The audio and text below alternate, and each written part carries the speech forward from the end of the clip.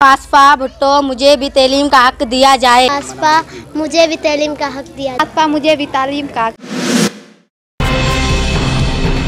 रोटी कपड़ा और मकान ये नारा भी पुराना हुआ।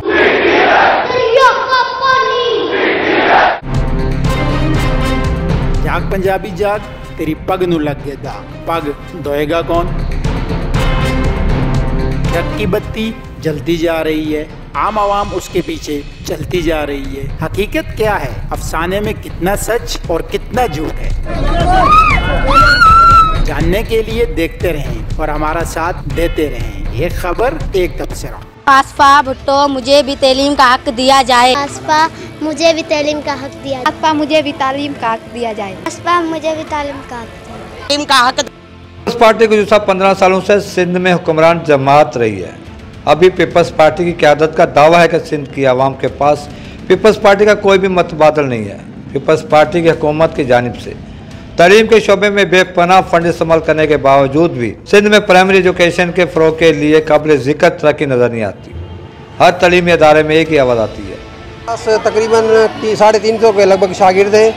और हमारे स्कूल में मसला ये है कि फर्नीचर नहीं है और स्कूल की हालत जो है बहुत ख़राब है। डैमेज है और बिजली की सहूलत नहीं है, इसी वजह से जो हमारे पास जो बच्चे तालीम जो है, नीचे ज़मीन पे बैठ के school, government, primary school, Syed Sabaqatullah Shah Shaheed, गणक bungalow primary school है। यहाँ पे तकरीबन साढ़े तीन सौ के करीब जो है वो तलबा तालीम हासिल कर रहे हैं। और यहाँ पे फर्नीचर की हमारे पास शदीद शार्टेज है और इस सेक्शन में जो है हमें किताबों का बहुत बड़ा जो है वो मसला दरपेश आया है।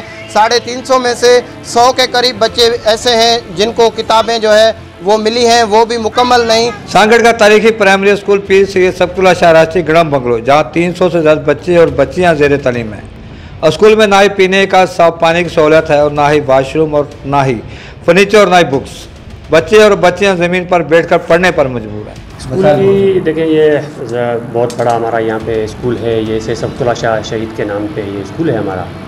मगर ये तालीम पे जो है आजकल उनका जो फोकस है वो कुछ कम नज़र आ रहा है क्योंकि यहाँ पे सहूलियात बहुत कम है। यहाँ पे बहुत शागिर्द बहुत ज़्यादा हैं और उस हिसाब से इसमें फ़र्नीचर भी नहीं है। और ज़ाहिर सी बात है अभी जो सिचुएशन चल रही है इलेक्ट्रिसिटी के हवाले से वो भी तकरीबन कमी होती है। तो उसके हिसाब से भी वो बच्चों को गर्मी में परेशानी होती है। तो उनको सोलर की फैसिलिटी भी दी जाए। और इसके साथ इसके अलावा जो किताबें हैं, वो भी बहुत कम है।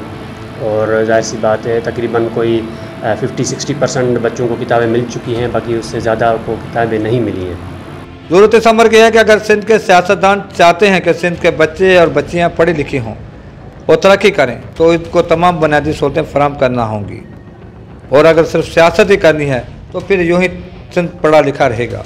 कैमरा टीम के साथ इशफाक सुलरी सांगड़।